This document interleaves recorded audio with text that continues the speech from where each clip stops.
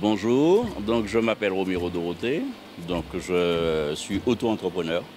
J'ai créé une petite entreprise. Je fais du sorbet, du sorbet local.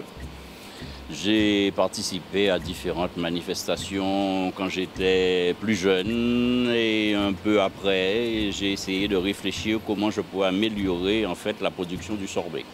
Donc j'ai essayé de mécaniser euh, tous euh, mes appareils et j'essaye d'apporter un goût euh, supérieur, si je pourrais dire, à tout ça.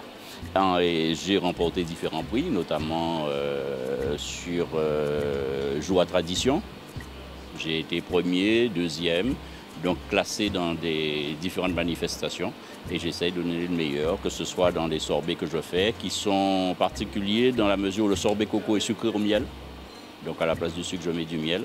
Je fais aussi du sorbet goyave, du sorbet passion, sorbet que j'appelle un petit mot connasse. Mais en fait, c'est un subtil mélange de coco et d'ananas et le tout miellisé.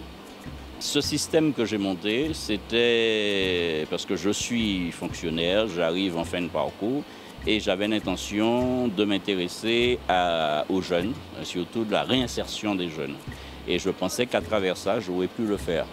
Je rencontre beaucoup de difficultés à trouver des jeunes qui voudraient travailler puisqu'ils trouvent que c'est trop difficile. Mais je ne désespère pas. Donc j'espère qu'un jour, euh, redonner ce que moi, on m'a donné.